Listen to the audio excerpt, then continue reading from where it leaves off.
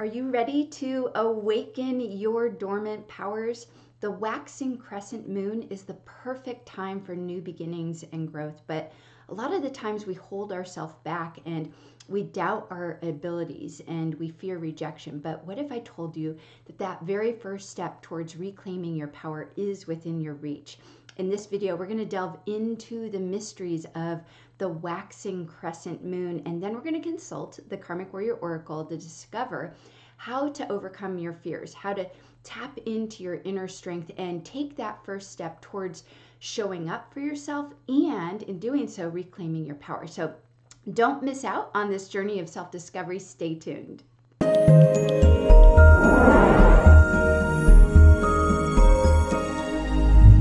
Hey there, yogis and yoginis. I'm Lisa Engles Witter, and welcome to my channel where I help spiritual seekers just like you to harness the ancient wisdom of yoga to live an extraordinary life. And the goal of this channel is super simple it's just to make it easier than ever before for anyone to find happiness and fulfillment in their everyday life by using this wisdom that's already been handed down to us, been passed down to us for millennia. So be sure to subscribe to my channel if you haven't already because I post new videos just like this one on a regular basis. We have just entered the phase of the waxing crescent moon, and this marks the beginning of a new lunar cycle. So, this phase of the moon represents a first movement towards showing up and making our presence known, which is also about stepping into our power.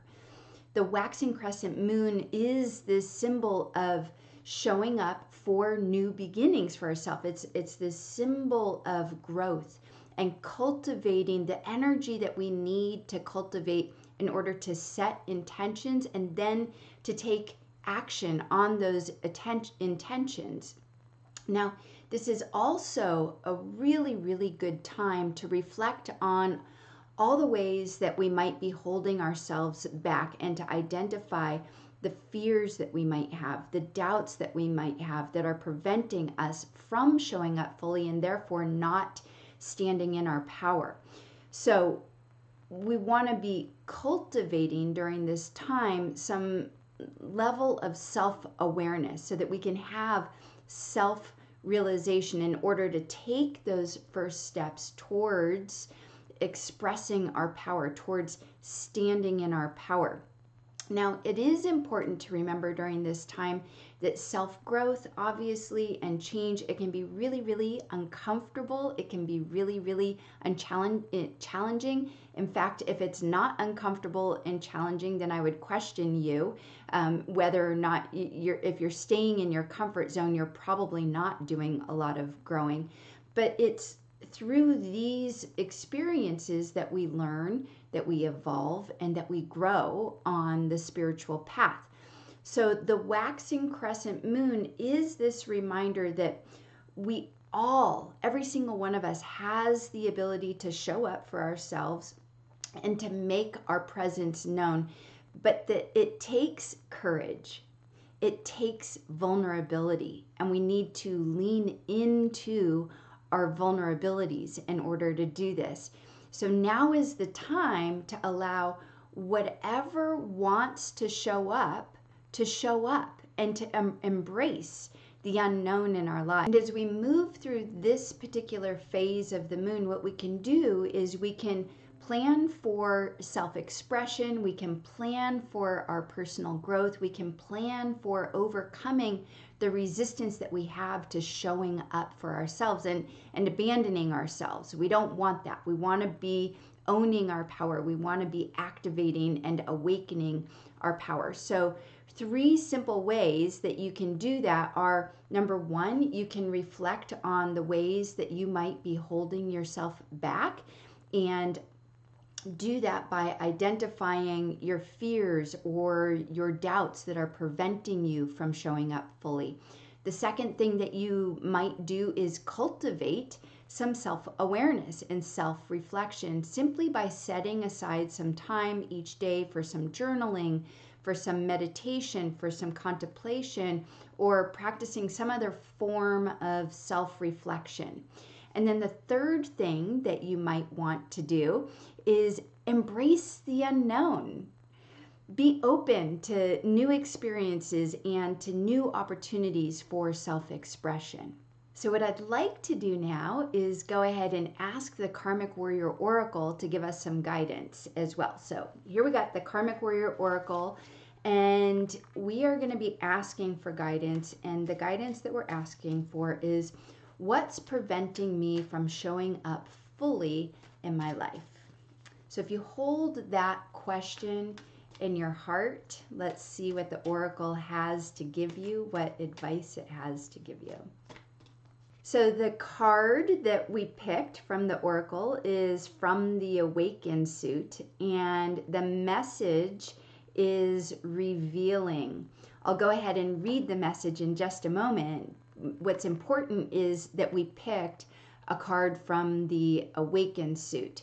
So, in this context, what the oracle is telling us is that what's preventing you from showing up fully is not realizing who you really are. The, the awaken suit is all about waking up, awakening to your true nature, understanding who you really are as a felt experience. What's important to know here is the sort of a nuance of this piece is that if you're someone who does a lot of personal growth work and you are always in the realm of the mind and you're trying to figure out, you're doing work on your beliefs and busting your beliefs and trying to change your beliefs and looking at your stories and trying to figure things out like where did my trauma come from and where did all of this crap in my life come from? What's the history? And trying to make meaning of all of it, that is keeping you stuck. That is what the oracle is telling you. It's time to to just set that aside for now because all of that work is a stepping stone to the next phase in your life of showing up. So it's time to realize who you really are aside from all the stories and the beliefs you have. No belief about who you think you are is who you are. So, first and foremost, the, the oracle is telling you it's time to awaken to your true nature by having a direct experience of it. Now, the message on the card is revealing. So let's go ahead and we're going to take a look. What I love about the Karmic Warrior Oracle is that it always has two messages for us. And the, the top message is when we're fully in our power, how we'll experience this principle of revealing. When we're not in our power, how we'll experience is the bottom message, how we'll experience this principle of revealing. So I'm going to read both messages. I want you to sit with which one feels more like you right now. Okay, so the bottom message is taking things and people and experiences at face value. It's an inability to see a shared divinity in all that exists. And then the top interpretation says this the ability to perceive divinity expressing itself in, as, and through all things. So, what's preventing you from not showing up fully in your life is eh, like having not having the realization yet that divinity is expressed in, as, and through all things. Divinity is always revealing itself to you. And when you recognize that divinity is always revealing itself to you in a loving way, it's so much easier to show up. You're showing up for the divine in every moment. When you stop making it about yourself, when you stop making it about other people or experiences and show up in your fullness for the divine. The divine celebrates, right? As we've explored throughout this video, the waxing crescent moon is a really powerful symbol of beginnings and growth. It's a reminder that we all have the ability to show up for ourselves and to make our presence known, but that it takes courage and it takes vulnerability in order to do that.